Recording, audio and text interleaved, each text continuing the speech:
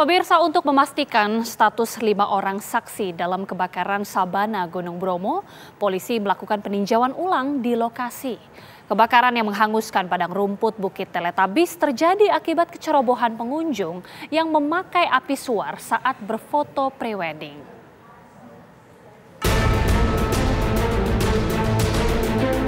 Tim gabungan Polres Probolinggo bersama Polda Jatim, Polsek Sukapura, dan TNBTS meninjau ulang TKP awal mula kebakaran Sabana Watangan alias Bukit Teletabis.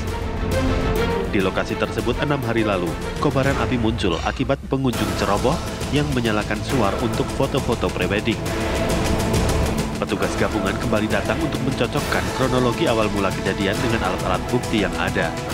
Kegiatan tersebut bertujuan untuk melengkapi alat bukti dalam pemeriksaan lima pengunjung pelaku foto prewedding yang saat ini masih berstatus saksi. Kobaran api yang telah meluas selama enam hari telah menghanguskan areal padang rumput seluas puluhan hektar. Kondisi tersebut mengakibatkan panorama objek wisata yang dikenal sebagai Bukit Teletabis menjadi gersang menghitam arang. Pada hari ke-6, upaya pemadaman kebakaran Sabana Gunung Bromo masih berlangsung. Dari total awal 9 titik api, tersisa satu titik api yang cukup besar. Lokasi kobaran api tersebut berada di area Pusung Lingkar yang masuk wilayah Kabupaten Probolinggo. Upaya pemadaman terus dilakukan oleh petugas gabungan. Meskipun demikian, karena terkendala luasnya medan dan kemiringan yang curam, pemadaman secara manual harus didukung dengan helikopter waterbombing. Upaya pemadaman dari udara alias waterbombing melibatkan satu unit helikopter dari Badan Nasional Penanggulangan Bencana atau BNPB. Penutupan kita masih lakukan ya total ini hari ini. Nanti kita evaluasi dulu. Eh, concern kita keamanan pengunjung, Pak.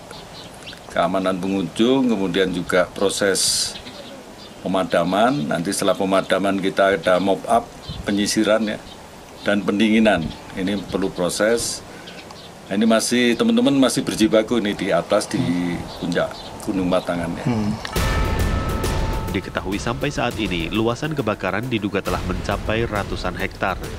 Kebakaran di kawasan Bromo tidak kunjung padam dipicu kencangnya angin dan banyaknya rumput dan semak yang mengering.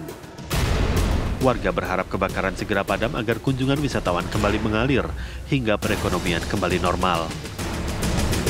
Di lain pihak, Satreskrim Polres Probolinggo bersama Dirkrim Suspolda Jawa Timur terus melakukan penyelidikan lebih lanjut.